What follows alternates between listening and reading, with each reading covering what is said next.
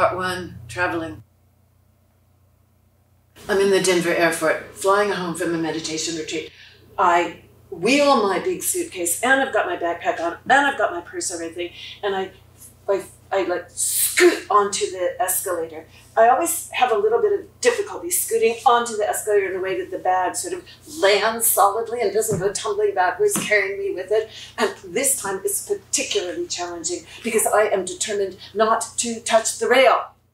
You go up to a, I believe they call it a kiosk.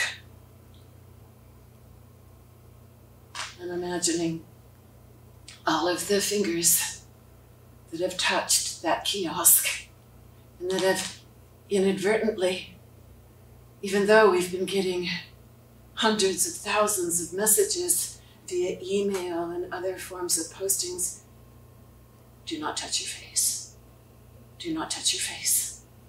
Do not touch your face. Do not touch your face. Do not touch your face. Remember, don't touch your face. Whatever you do, don't touch your face. It's hard not to touch your face. I know it is. But you can do it. Just don't touch your face. Do not touch your face. Don't touch your face. Don't touch your face. It'd be a really good idea not to touch. Please don't touch your face. And if you do touch your face, don't touch anything else. I'm imagining all the people who have inadvertently used the back of their index finger to wipe their nose, maybe even just the front, just a little droplet there. And then they've touched the kiosk. They've punched in their number. Mine starts with an H, and maybe theirs started with an H. And so as my finger lands on the H, I'm going to inadvertently pick up a little coronavirus. And then I will forget. I will touch my face. And the little coronavirus will make its way into my eye fluid, where it will thrive on the fluid environment. And then I will be one of the ones, the nameless ones, end up stricken. I was at the Safeway yesterday and I had to punch in my telephone number to get the discount on bleach.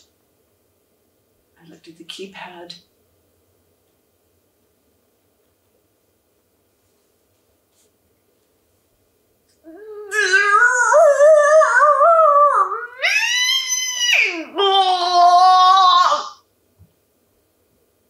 But I did it anyway. And then as soon as Got in the car, I brought out my non strong enough alcohol spray and washed my hands.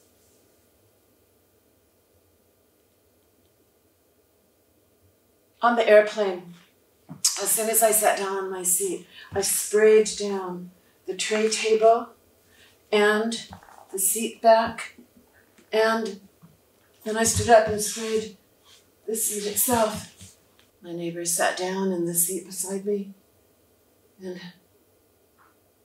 inadvertently, somehow during the flight, he couldn't hold back. We were having a very engaged discussion. He'd had several whiskeys and he grabbed my hand. This is a man who flies every single week all over the world and believes that by drinking a lot of bourbon, he will kill any virus that has penetrated his body. And now he has touched me. He owns a farm in Wyoming. He's invited me to come for the 4th of July, where they slaughter a pig, even though he knows I'm a vegetarian. And he's touched me.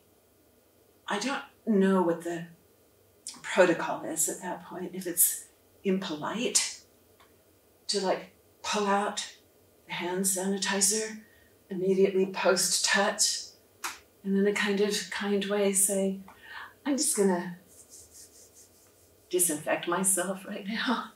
Do you want some? I mean, you touch me. I, I could be the one carrying it. I didn't touch you. You touched me. You know, but that's okay. I'm just gonna.